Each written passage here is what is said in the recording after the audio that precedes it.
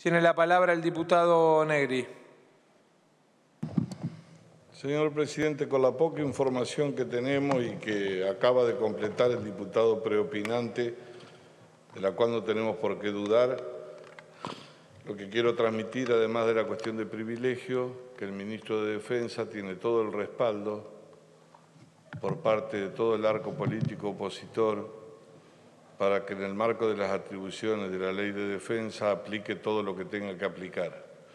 Nos gustaría, sí, que en el momento propicio nos visite el ministro de Defensa.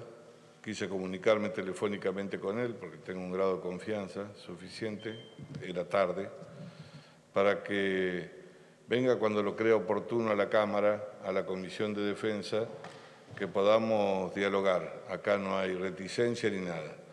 Quiero decir que, en todo caso, las conductas de determinado personal militar retirado transcurre durante el tiempo.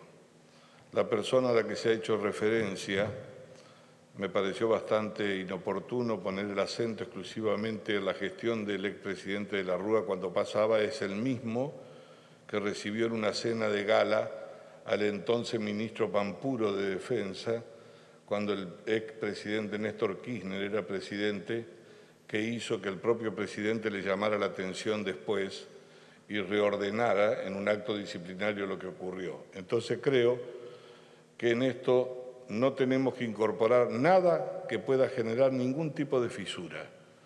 Estamos absolutamente todos juntos, tiene absolutamente respaldo incondicional y creo que lo que nos faltaría, cuando pueda oportunamente, que el ministro nos visite y nos provea de toda la información y no va a tener ningún ápice de reticencia para aplicar lo que corresponda.